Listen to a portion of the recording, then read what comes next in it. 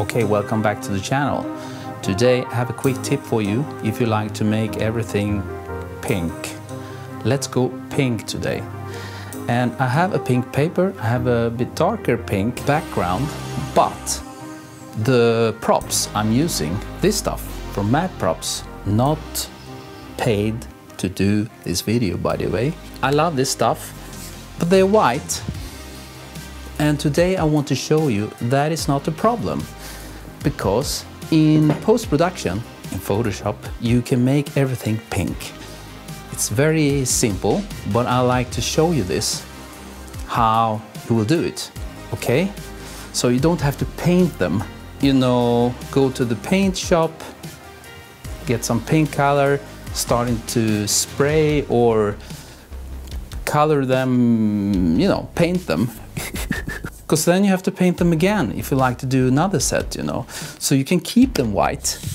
Probably it would be best if they are gray, because gray is very simple to change color. But white is also fine if you still have some details left in uh, the highlights, you know. Don't blow out all the highlights with too much light, then you're fine. And today I will show you how to do this in Photoshop. We can start to take a shot. First shot without any flash.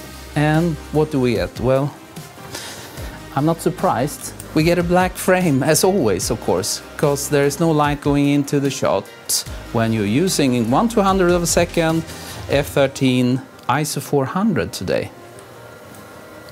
What? Today I'm using this flash because I want to show you you can do many things with this projection light. But that will be a separate video for the coffee supporters. So we just put it on and let's take a shot. Boom. Here is the set. And as you see, pink and the props are white. This is a very popular style, this small light source and it's hard to get a smaller light than this one. If you like to have a very small, small light source and have these super razor sharp shadow edges, then this guy is crazy, you know. And it's very popular style to go with nowadays hard shadow edges. But today I will not use this hard light, I will use a soft light. Diffusion frame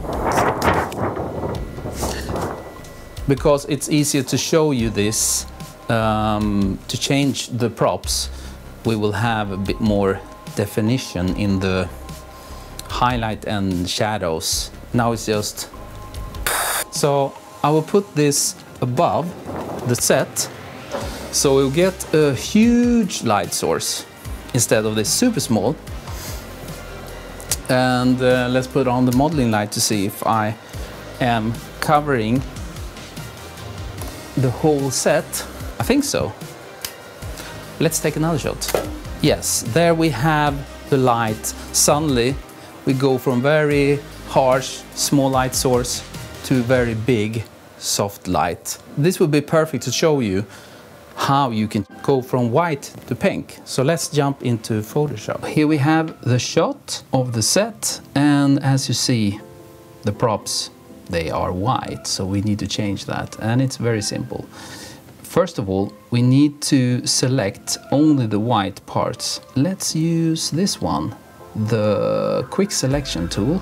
See if we can select this guy. Something like this. Yes, we got the flower too, but it doesn't matter. But now we have this guy selected. You can do this any way you like, you know, you can use the pen tool. Probably it's best to use the pen tool, make selection, then you get a perfect selection. But for now, let's go for this.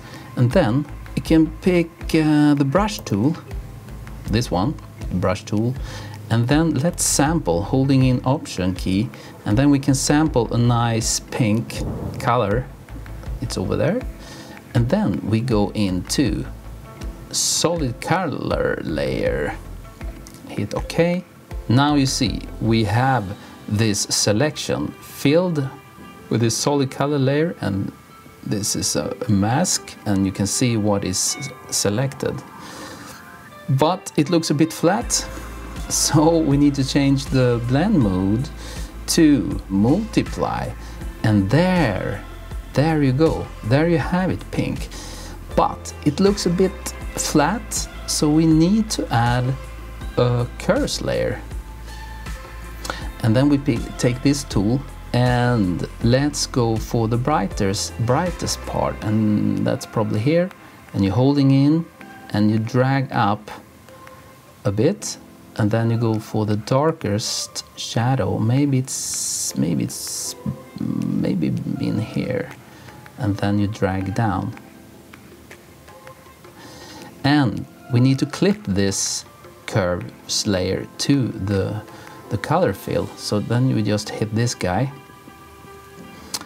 And there we are. Now it looks so much more realistic I would say. We can we can try to drag this down a bit more see what happens. And uh, maybe up with the highlights so it comes closer to the to the surface. So that's how we do it. A color fill layer of the white selection. And then you add a curves layer to match it better with the, the surface. So it will have the same uh, pinkish tone. And if you feel like hmm this one is a bit more pink then you just go double click this and then you can add a bit more. If you go too far well if you like this style then you can go for that or if you like any other color you know but you can always change if you want a bit more pinkish tone, maybe somewhere around there. And then you fine tune with the curves layer here to get it look realistic. So there you have it. That's all to it. And I have already done the shot and it's the final one is over here. And here you can see I have matched all this. I have made a selection of all and then I did the same process like I just showed you. That's how you change something white into color. But I wanted to have a pink scene, you know, so now it's everything is pink. Perfect. So thanks for watching. Hope this was a useful tip for you. And hit that like, subscribe if you're not a subscriber, or you can become a member. Then you can join the channel, or you can go to Patreon, become a patron, because this shot. I will do a video, more in-depth video for the coffee supporters here on YouTube and on Patreon.